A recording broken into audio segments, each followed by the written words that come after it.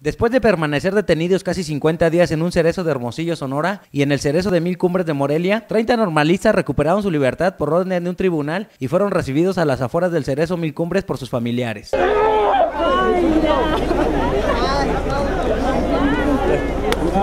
Entre los que acudieron a esperar la salida de los normalistas estuvo Juan José Ortega Madrigal, secretario general de la CENTE, quien celebró la liberación de los estudiantes normalistas y se unió a la alegría de sus familiares. Imagínense la felicidad de 30 familias que tenían ya prácticamente dos meses en una condición vulnerable de mucha tristeza, pero véalos ahorita. Los estudiantes liberados informaron que esperan reincorporarse a sus escuelas para poder recuperar el tiempo perdido, pero también aseguraron que seguirán en pie de lucha para mejorar las condiciones educativas. Para Cuasar TV, Oscar Suárez.